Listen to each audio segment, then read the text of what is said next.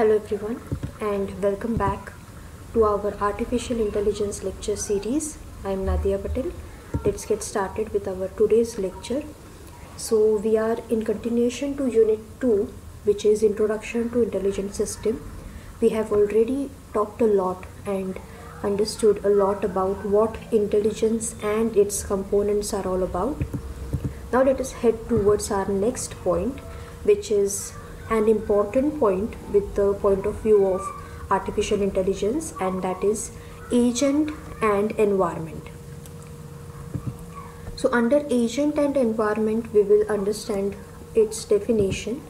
We will try to know and understand what is the structure of agent and finally some terms and terminologies used in the concept of agent and environment. So let us get started with our today's lecture. We have already seen in intelligent systems and in intelligence components that perception was one component, one important factor of intelligence and under this perception we had our sensory organs like eyes, ears, nose, taste and touch so in humans, these are the sensory organs which helps you to sense certain things and objects and actually figure out what exactly the object is all about. So this is the technology which we are learning about. So we are actually trying to convert this ability of humans and give it to machines. So this is what we understood, what we learned in terms of agent and environment i could say that this is just uh, take taking it further. We are just taking further this perception point and actually making it or converting it to agent and environment. So remember first thing while uh, studying or learning agents and environment these organs are going to help you a lot. So we sense through these are sensory organs. So look, uh, take a look at this picture where a little boy is actually trying to have his first experience with flowers. So he's trying to touch them, he's trying to smell them, he's trying to feel them, he's trying to see what exactly the flowers are all about. So while learning in his growth years, he's quite young and with the course of time, he will save this data say for example this is a backyard garden from his farmhouse or something. So the farmhouse is having certain kind of climate. It is having certain kind of soil. And these are some rare flowers which are grown in his farmhouse somewhere. So with his growth years and slowly gradually growing he will actually try to maintain this data as such flowers will grow in certain region and will have such kind of texture and can have such kind of smell. So this is his you can say memory or this is his past data.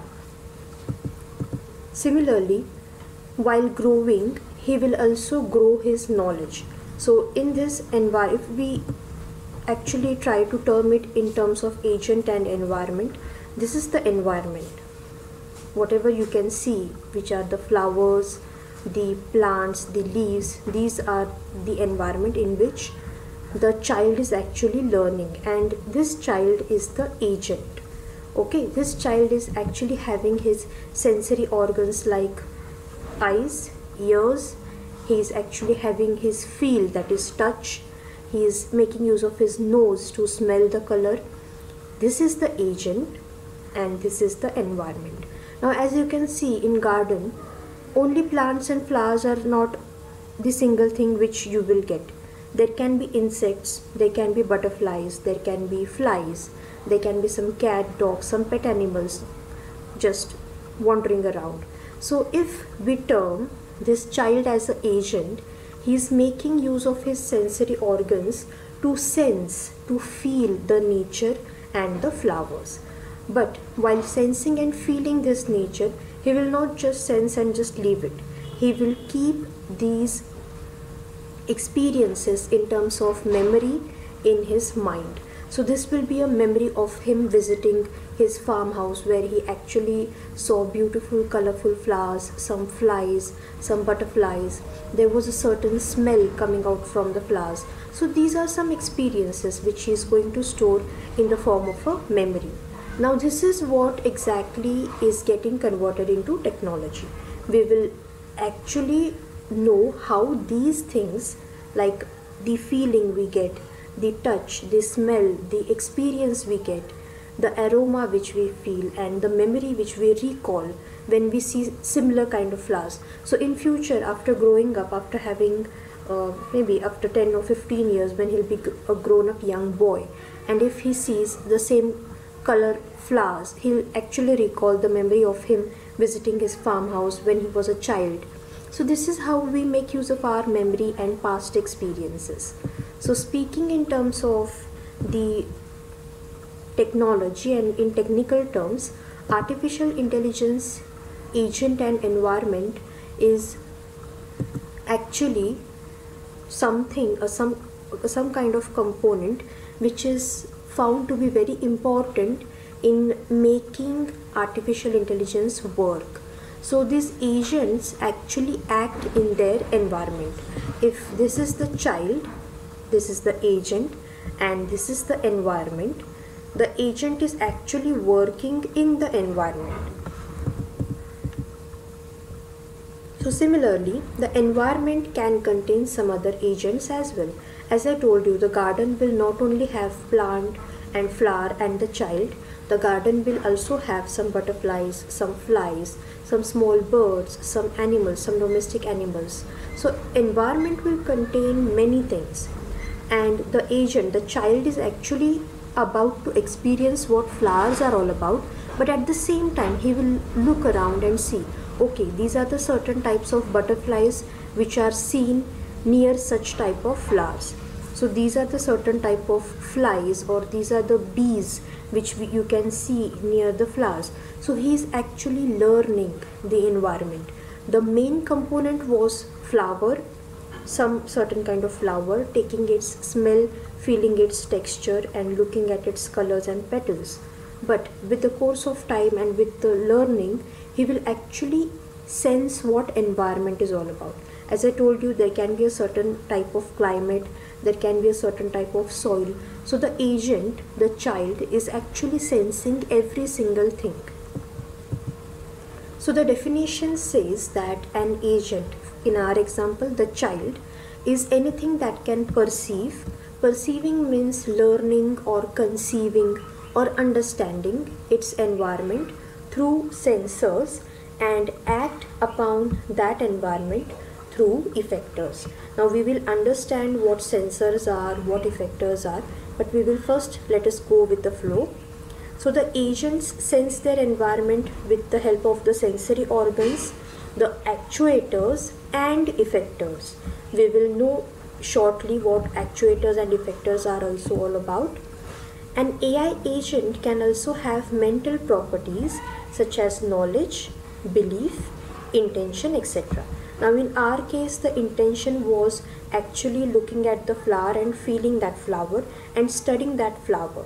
But with the same intention, he just looked around the environment and he saw certain butterflies, some honeybees over there, some cats or some domestic animals which are seen in such type of gardens. So this is how he is learning. Now he is believing that he is having a belief that these kind of flowers will have such kind of butterflies.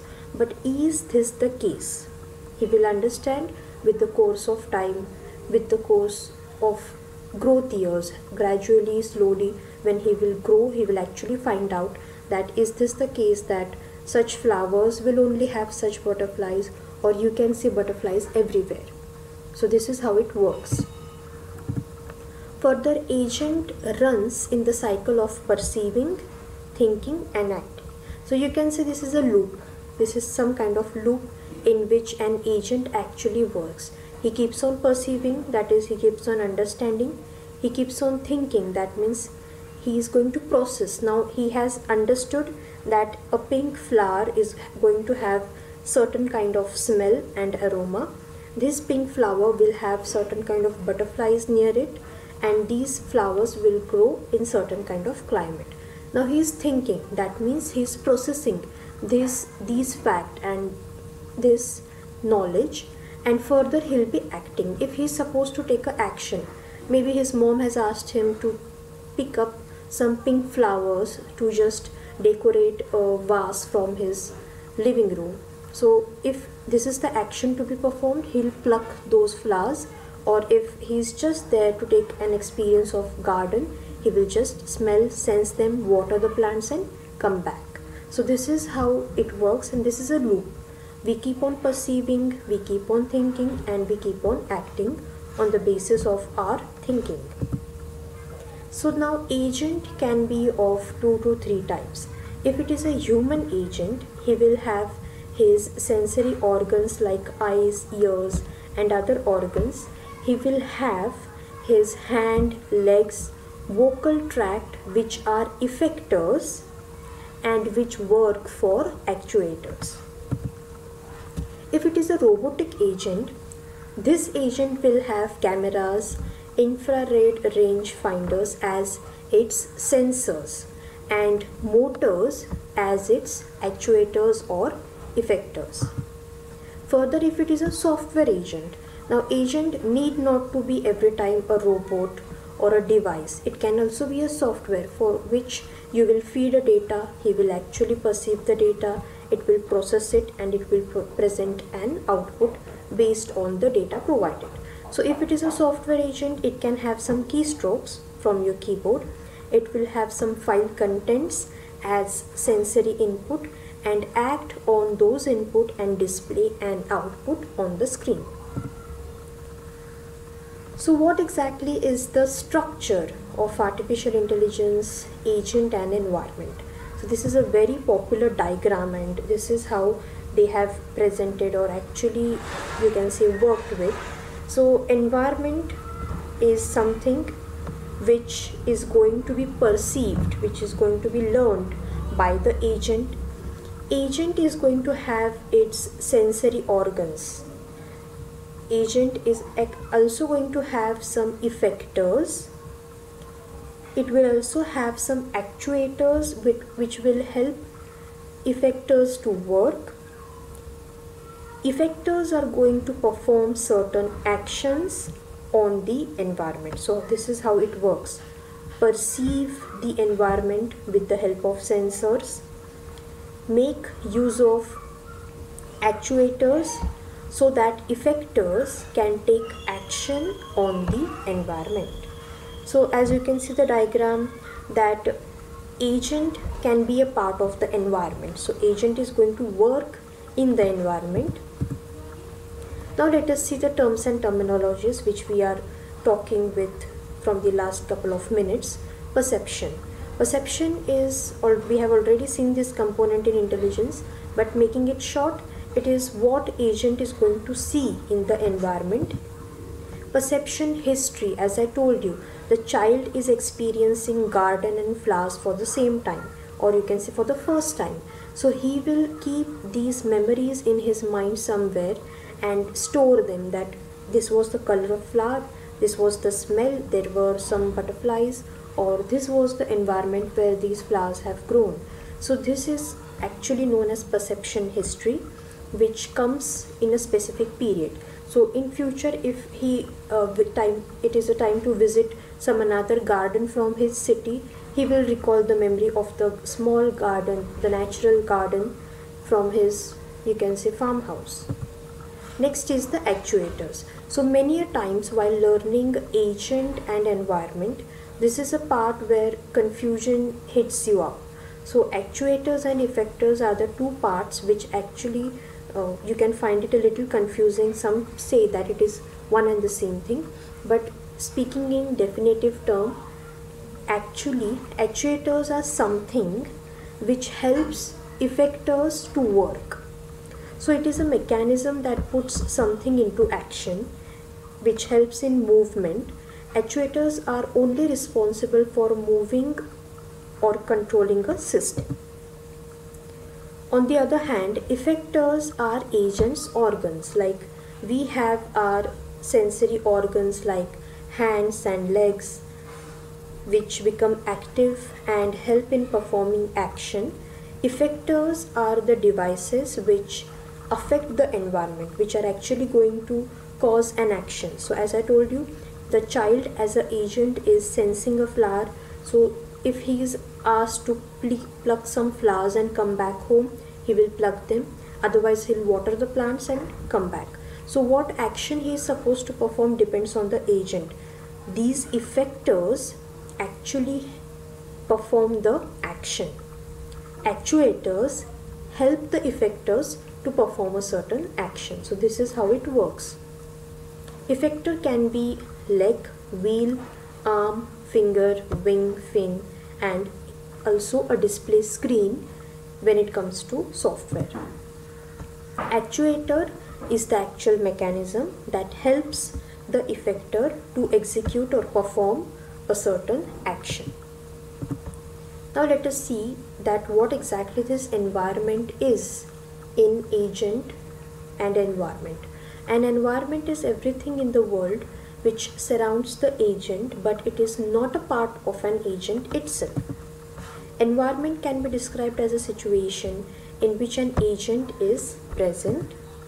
The environment is where agent lives, operates and provides the agent with something to sense and act upon it.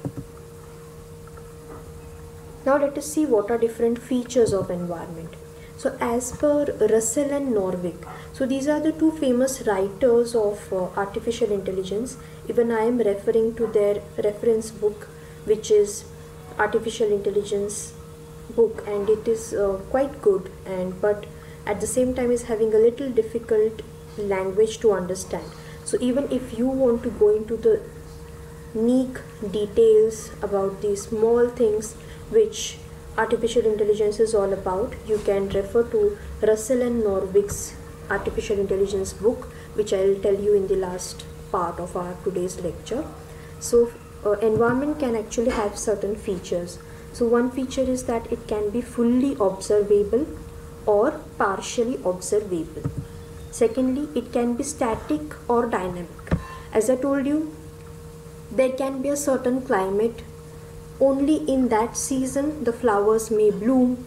So maybe the child is visiting his farmhouse in the spring season and he falls to visit the same farmhouse in the winter. Now the second time when he visits the farmhouse he will actually recall the memory of his backyard garden. He'll visit and he'll find no flowers. So this is how where confusion will stand out. And he'll be confused. That last time when i visited there was a beautiful garden and in this season there is not a single flower to play with. So this is how he will learn that yes so in the spring season i will have a garden to play but in the winters i will not have the same garden to play with.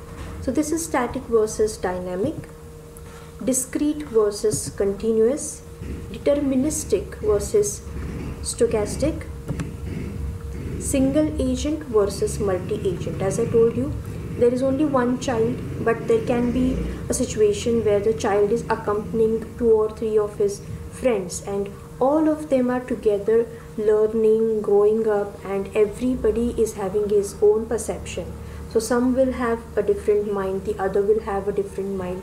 Everyone will have their own conclusion. So this is again one example. It can be episodic or sequential.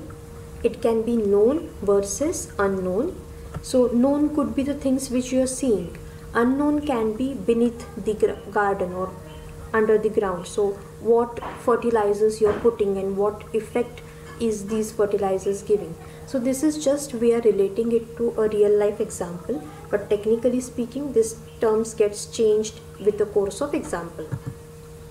Accessible versus inaccessible so these were the features of environment. And finally the book is a modern approach by stuart russell and peter norvig so if you want to go into the more details i think knowing this much about agent and environment is more than enough. We have already seen its features. We have seen the difference between actuator and effector.